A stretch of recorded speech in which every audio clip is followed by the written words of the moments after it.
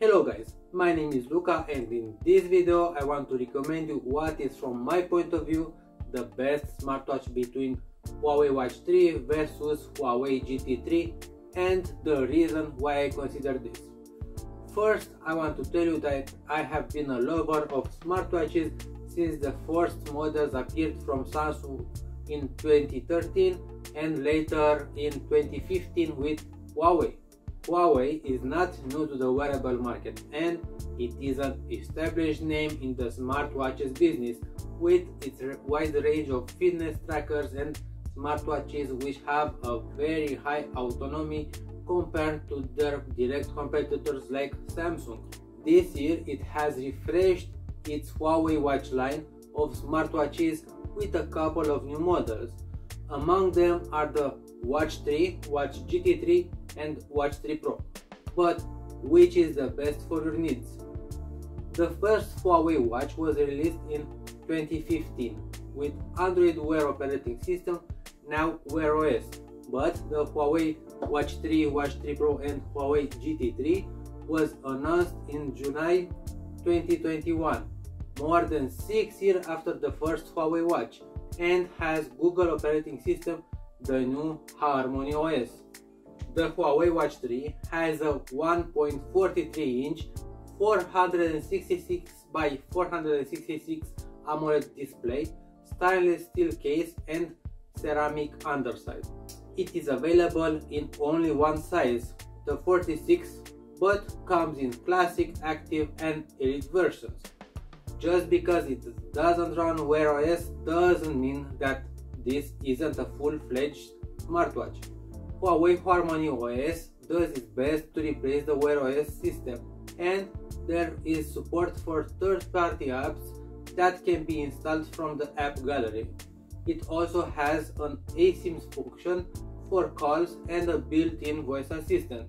Huawei did not reveal the chipset powering it, but the Watch 3 has 2 GB of RAM and 16 GB of storage. For its health and fitness features, it has a heart rate sensor, blood oxygen measurement, a skin temperature sensor, and supports many workout features. It also has NFC, built-in GPS, Bluetooth 5.2, wireless connection, a barometer, a compass, and a gyroscope. The battery life is around 3 or 4 days, but a battery saving mode can expand it to even 14 days. The Watch GT3 is a more affordable smartwatch with specs and features that may appear weak from the Watch 3. For starters, it is available in two sizes, a 46mm version and a 42mm version.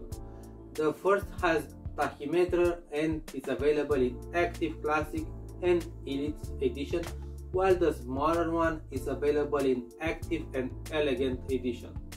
Both versions are AMOLED touchscreen that can also be operated with digital crown and the customizable secondary button just as the Huawei Watch 3 and Watch 3 Pro. The Watch GT3 runs Harmony OS, replacing the Lite OS on previous Watch GT models. With new operating system, the Watch GT3 also supports third-party apps. However, there is only 32 GB of RAM and 4 GB of storage, so less than the Watch 3 or 3 Pro. It also has a speaker and microphone for taking calls on the watch and a built-in voice assistant. It offers almost identical sports and health features as the Watch 3 except for fall detection. It also has NFC, Bluetooth GPS, a barometer, a compass and a gyroscope. The typical usage battery life is around 14 days for the 46mm version and 7 days on the 42mm version. Like the Huawei GT3 and Watch GT3 Pro, they support wireless charging.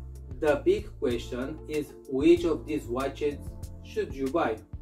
The Watch 3, which has a starting price of $420, is positioned as an alternative for Apple Watch or even Samsung own Galaxy Watch 4. However, certain functions are tied on either only Android or Huawei owned phones like the ability to send an SOS MSA to an emergency contact after a fall, only available on Android phones.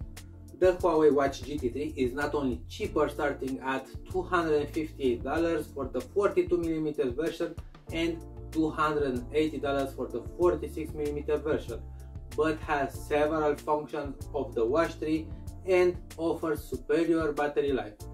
There are a few Android exclusive features to such as syncing music to the watch or put pictures on it.